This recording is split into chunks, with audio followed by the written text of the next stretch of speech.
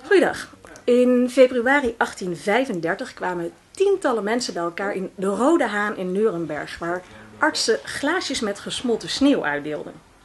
De bijeenkomst was een poging om een einde te maken aan een hoog oplopend debat over de werking van homeopathie in die jaren. Want die homeopathie was toen bezig aan zijn eerste opmars.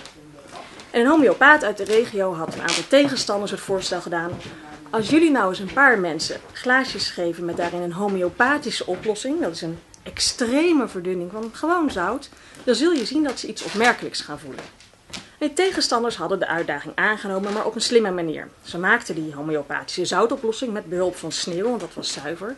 Maar ze maakten evenveel glaasjes met gewoon alleen maar sneeuw. En die husselden ze totdat niemand meer wist wat waarin zat.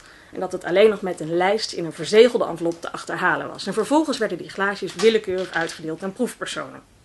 En dat is eigenlijk nog steeds hoe wij testen of medicijnen werken. Het, het eigenlijke middel en een nepversie, blind en random verdeeld over een testgroep. Een aantal dagen later kwamen 50 proefpersonen terug om te vertellen wat er was gebeurd. En acht van hen hadden iets geks gevoeld. En een van hen had bijvoorbeeld last gehad van pijnlijke likdoorns.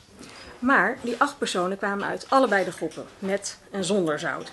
En volgens de onderzoekers hadden ze ofwel gelogen of zich iets ingebeeld, of waren ze gevoelig geweest voor de suggestie dat ze een medicijn namen. Hun conclusie was: die zoutoplossing deed niets. Homeopathie werkte niet. Maar dit onderzoek was wel heel nadrukkelijk opgezet om te bewijzen dat homeopathie niet werkt.